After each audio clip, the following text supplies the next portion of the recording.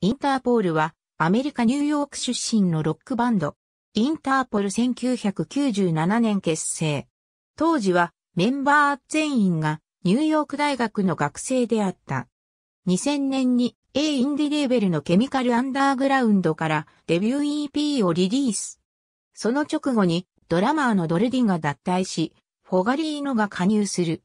自主制作版を発表した後、2002年に米インディーレーベルのマタドールレコードと契約。同年にファーストアルバム、ターンオンザブライトライツをリリース。このアルバムは評論家から賞賛を持って受け入れられ、各種メディア媒体の年間アルバムランキングに挙げられた。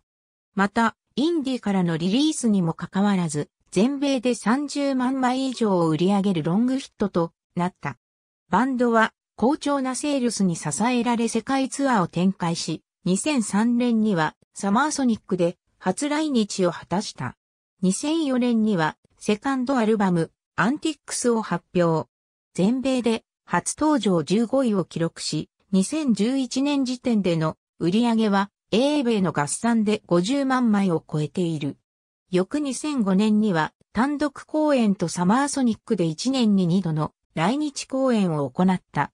2006年秋、メジャーレーベルのキャピトルレコードへの移籍が発表され、翌2007年にサードアルバム、Our Love to Admire をリリース。英米でいずれもトップ5に入る大ヒットを収めたほか、各国で大きなチャートアクションを起こし、世界規模の評価を得た。音楽的には初めてキーボードを導入し、従前とは異なる作品に仕上がっている。同年8月には2003年、2005年に続いてサマーソニック07に出演した。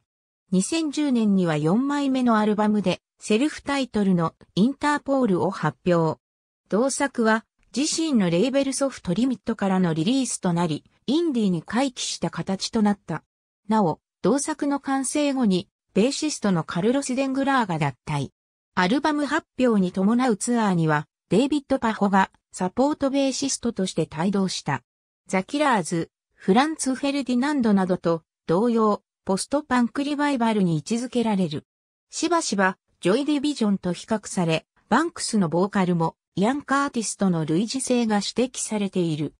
重く暗い雰囲気を持つサウンドが特徴的で、あでやかで、哀愁を帯びたメロディは、氷のような美しさがあるとも評される音楽性がバンドの大きな魅力となっている。発売日はアメリカにおけるもの。A は全英アルバムチャート、B はビルボード200におけるチャートの最高位を示す。2003年、2005年、2007年、2018年。ありがとうございます。